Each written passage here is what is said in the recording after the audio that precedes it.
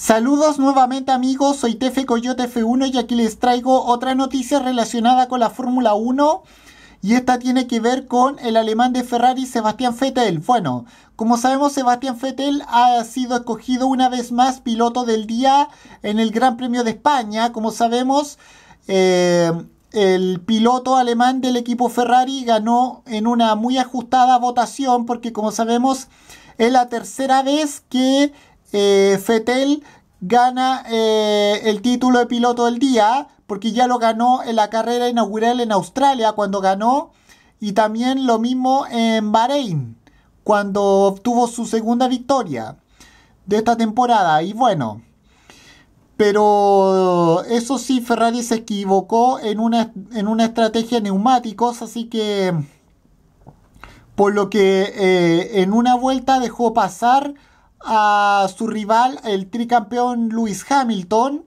Y bueno, eh, felicitaciones a Fetel por este, por este logro de ser piloto del día.